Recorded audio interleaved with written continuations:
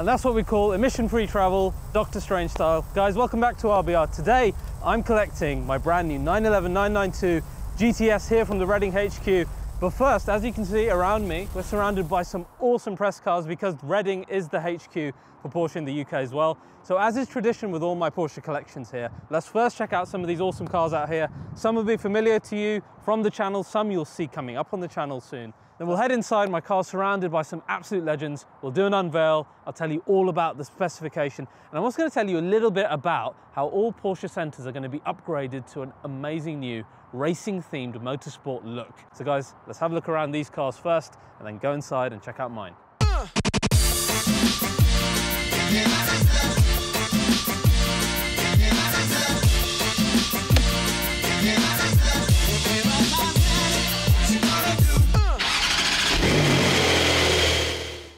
So to start off proceedings, OPR 911, that plate used to be on the GT3 RS press car that we drove on RBR. And it's fittingly now returned on probably my favorite of the GT cars, which is the GT3 Touring. Absolutely loved driving that at Goodwood last year. You guys loved the video as well.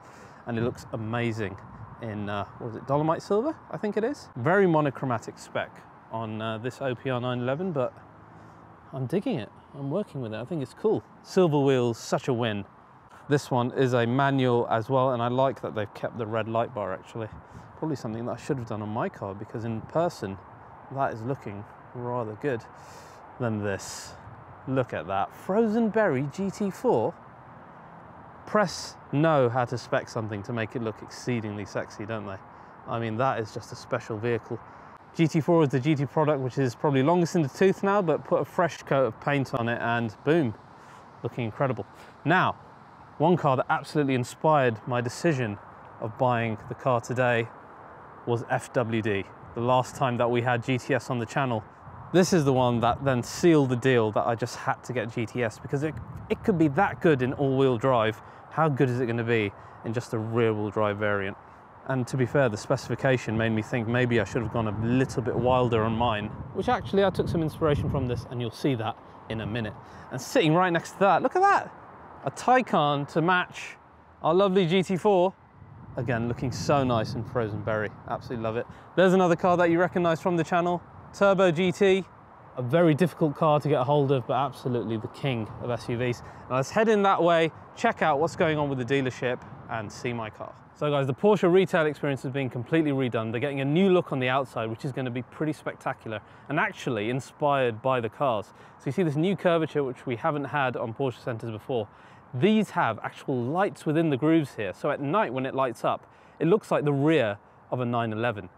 How cool is that? But inside it gets even better. Rather than having the fairly, you know, the inside of the previous Porsche centers we're quite used to now, fairly clean, but nothing too exciting going on. Now, they're going to have an all motorsport themed interior with lights and a real attention to detail as to what makes Porsche Porsche in terms of racing. You can see some of the renders here. Reading is one of the first in the world to get it done. As I said, HQ in the UK, and it's going to look absolutely spectacular. Can't wait to show you that soon. So for now, Reading has a temporary showroom. Oh, hello, look at that.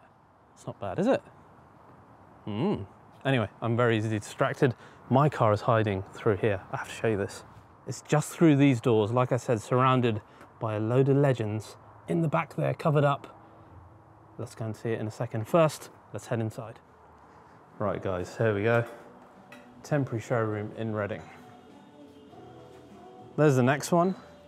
Taycan GTS Sport Turismo. Like I said in the last video, what a peach of a car. This is completely blacked out. What a stealth, gorgeous spec here. Here is Temptation Station, all the latest Porsche clothing, equipment, things that you probably don't need but you absolutely want, like magnet sets of Porsche badges, why not? Stick them all over your fridge. Some nice salt and pepper mills there. You saw me buy the uh, 911 ice cube tray because why not? They've got more ice cube trays here, look at that. That's cool. How, do you, how can you come here and not actually buy something? Want. Here you can see some weapons for the uh, Asian mothers out there, throw out their sons' heads, the famous chappal. You Desi boys know what I'm talking about. As my cameraman Jamie says, this one's for me because I'm a total mug. Total mug, hello. There's the only guy who's allowed to buy a GT3 here. You right, Dave? And here we go, here's GTS corner. Now that's a nice one, huh? Cabriolet, which for daily use, I actually prefer to Targa because the rear seat's not as compromised. Not in the most exciting spec, but even then, GTS looks pretty damn amazing. And look at this, Porsche design timepieces. This is actually the first time that I've seen one of the Porsche design watches in person. That is really, really nice. Would you pay five, six K for a matching watch though? I suspect a lot of people would because if it matches your spec and there's literally thousands of combinations to do like you do with your cars, it could be really special. You can tell it's the HQ and they've got some amazing stock here. Check out this Speedster. Oh my God. Porsche porn right there. And if you thought that was good, just look at the interior. Oh my God. I just had an accident. Fantastic. And then GT3 itself. This is in a PTS color, which I don't know what it's called, but hope. Riviera. Well done, Cameron. There he is. He wanted a cameo, he's got it.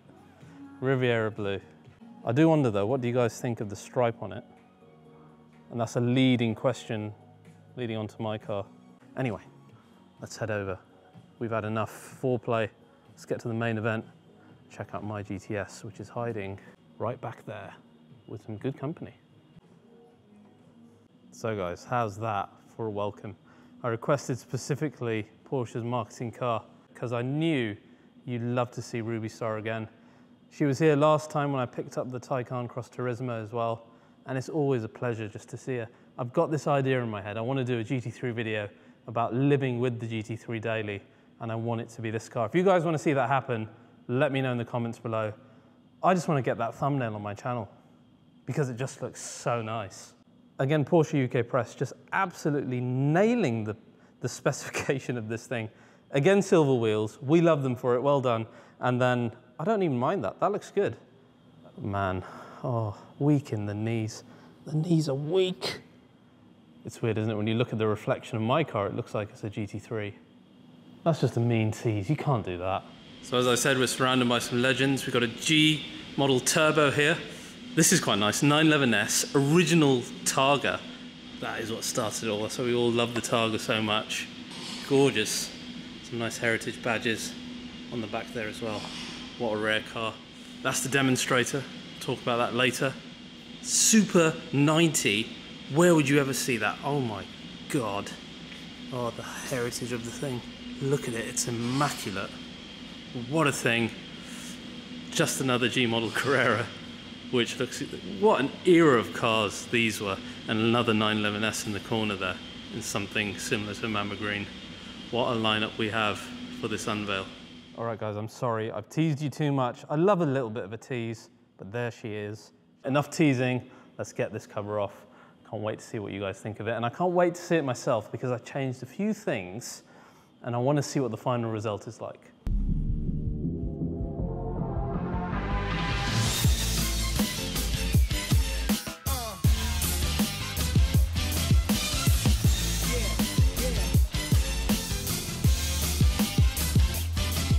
There you go, guys. What do you think? GT Silver Metallic. I've gone with the gloss black details on both the wheels and the trims on the outside to give it a bit more contrast to what is otherwise black plastic, like I'll show you on the other car that we have here.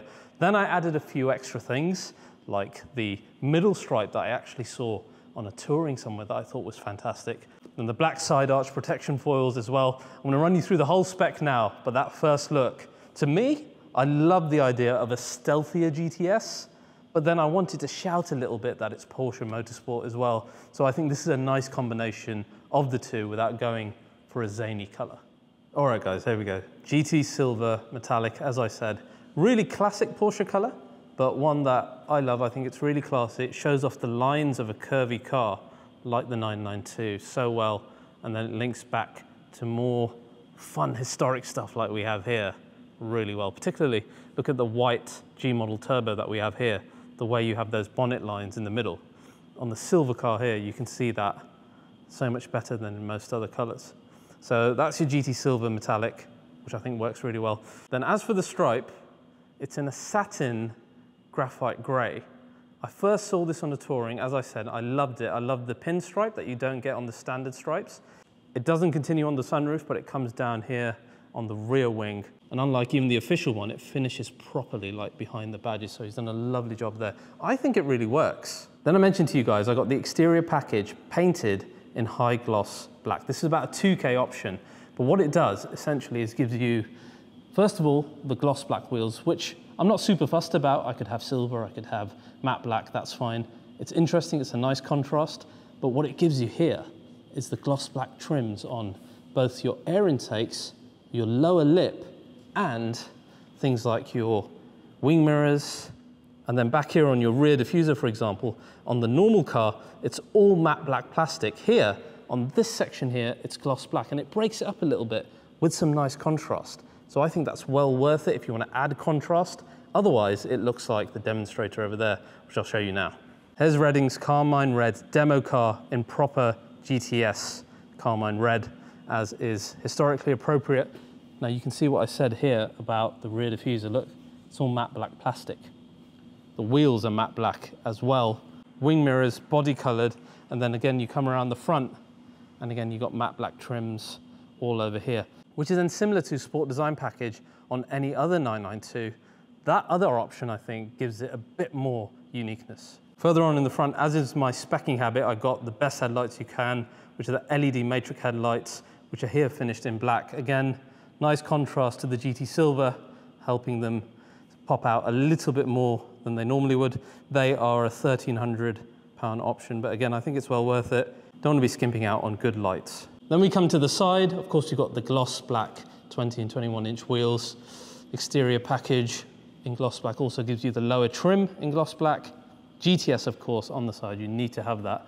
Then I added the rear arch protection foils because like in the FWD yellow car, I thought it just added a nice bit of flair. It's a nice throwback to some previous 911 history, like our G model turbo here with that as well. I just love that link to Porsche heritage. Oh I've got the rear quarter even better. I love how the stripe finishes off on the wing, which looks really cool. The gloss black again working so well matching nicely with the gloss GT Silver. I love that lower diffuser. Speaking of the lower area, these are the sport pipes. So they're slightly different to the normal ones. You can see they've got this metallic finish on the inside and then on the outside like a matte black pipe, which I think looks a little bit more aggressive. Again, sets it apart from your standard pipes and it's well worth doing that, not an expensive option. On the rear, went for the exclusive rear lights, which basically means they don't have the red color within them. Again, I think it could have looked good in red as well, but I think it works. I think it works really well. What would you guys have done?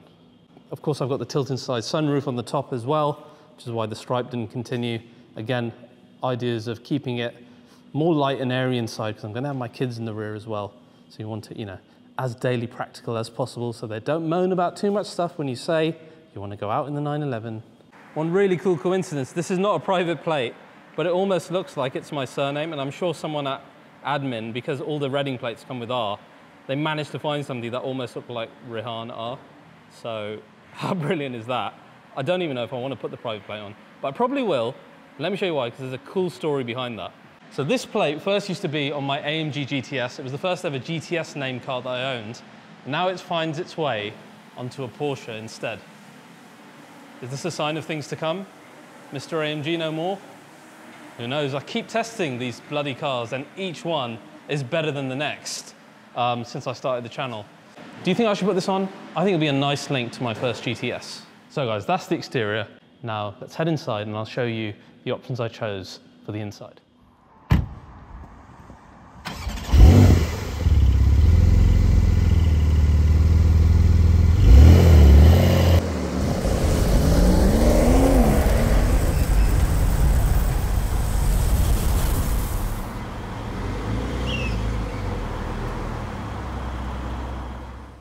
Well, that was the world's most boring drive home ever. But I thought we really should bring it home because it's all good looking at things in a nice dealership, but admiring a car in its natural setting outside, particularly here at the RBR driveway. And it's even more important for a, a stealthy spec like this to see what it would look like, you know, in a real world setting.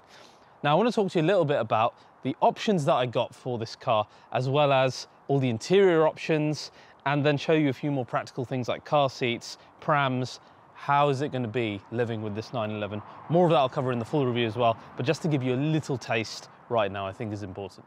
You know what, for me, at home, it just looks a thousand times better when you can see it, you know, real life reflections, trees, really see, particularly in silver, like the body come alive. We can appreciate the spec a little bit more together now. I really like the stripe. I like the fact that the that graphite grey element kind of, in certain shades, you almost can't see the stripe and it disappears, which is quite nice. You know, it keeps it nice and stealthy. Then the gloss black elements as well, I think we can appreciate them a little bit more out in the open. You've got, you know, more reflections. So much better than just the black plastic. Even the wheels, which I probably wouldn't have minded in satin black, I think they look really good with the gloss black. Then we've got the black protection arches, which I know not to everyone's taste, but if you understand the heritage, like with that G model turbo that we saw at Reading, then it's just, you know, it hits the mark, I think, really well. So there's no narrow body 911 anymore, unlike 991 GTS, 992 is also wide body, which some people don't like, but I love the stance that it gives the car. It just looks so impressive. Right guys, it's the battle that you never knew you needed to see, and maybe the most important part of the video, 911 versus Pram. I found this particular one, which is a Recaro pram. I Googled the question, where can you find a pram that fits in the frunk of a 911? Found the answer that it should be this one. However, bear in mind, it can only fit in the rear wheel drive because of course the all wheel drive version has more hardware in the front. But let's see if it's even true in the first place. This is really important for me, okay? Because with my kids, if I haven't got the pram and it's not able to fit, then forget about it. This is not going to be a family vehicle. You ready for this? There we go. And yes, it does actually fit. Does it close though? Hang on, let's check. Let's check. Yes, it closes and it fits.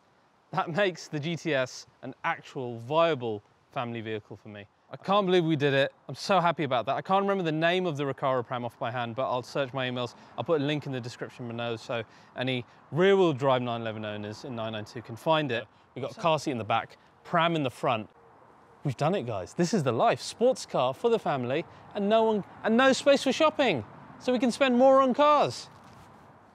So guys, where I've tested things like the base 911 in the past and I thought you hardly needed any options, I didn't want to do that with GTS because I wanted it to be as sporty as possible. I think GTS deserves it. So what I did was I got some important options that I think you guys should as well.